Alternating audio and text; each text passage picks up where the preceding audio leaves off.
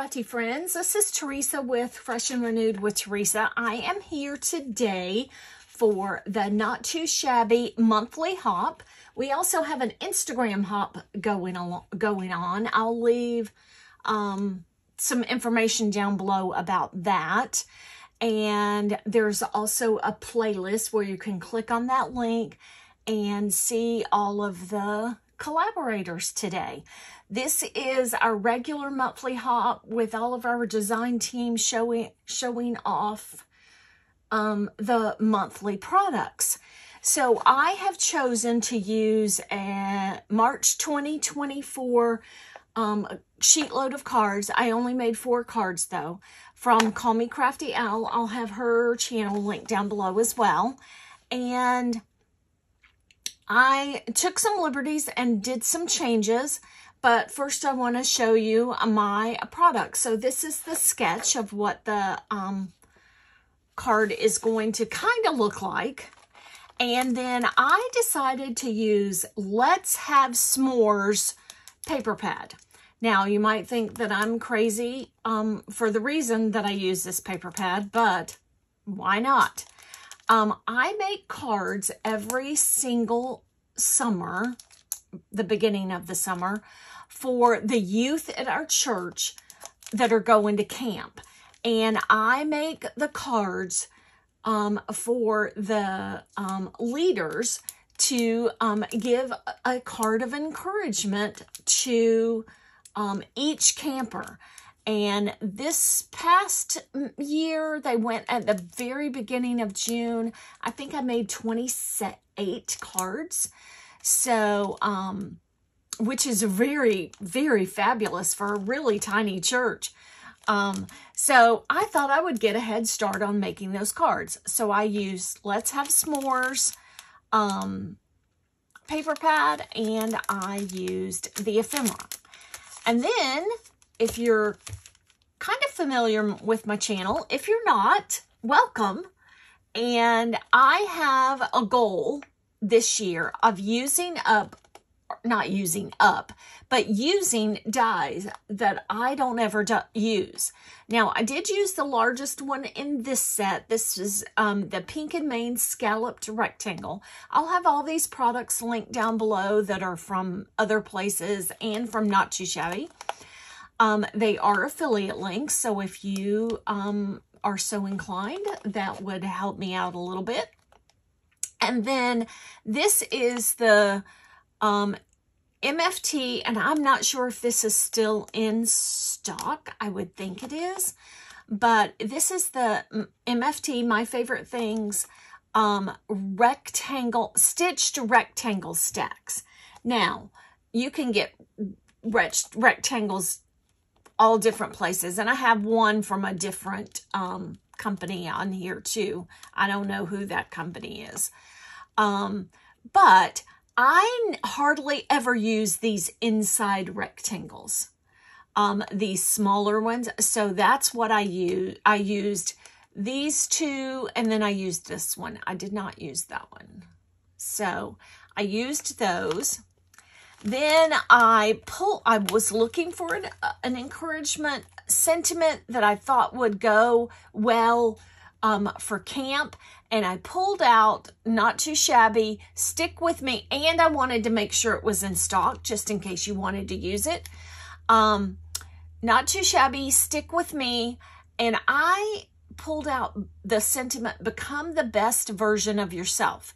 And I used the stamp and the die to cut that out. So um, I stamped it with a VersaFine um, Clair Nocturne ink. And uh, so the, both of these are still in stock. Um, I love this sentiment. I have used it before. Um, so just love that sentiment. So here are my, my cards.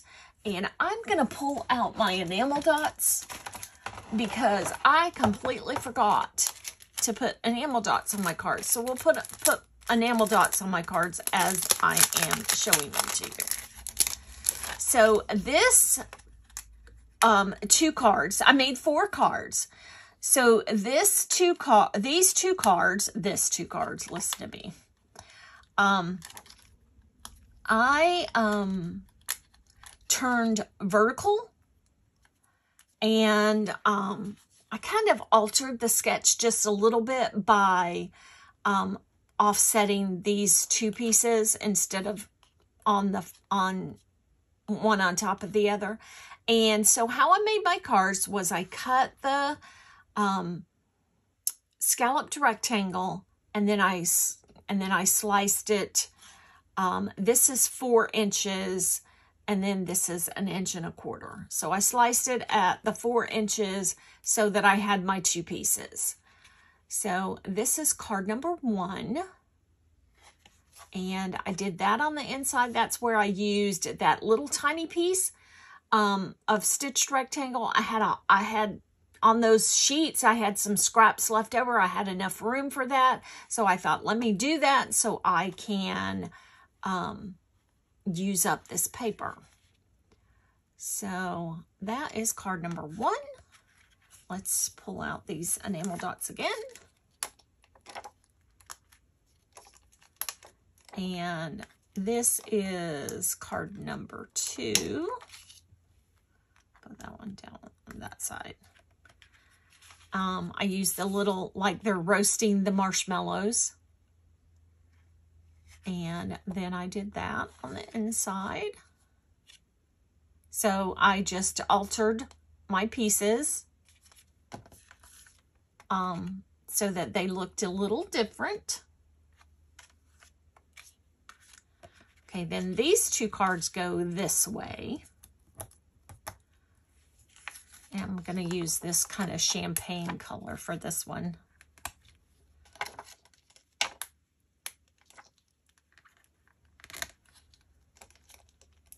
Let's use this little tiny one. Okay, so um, I, these two are the same.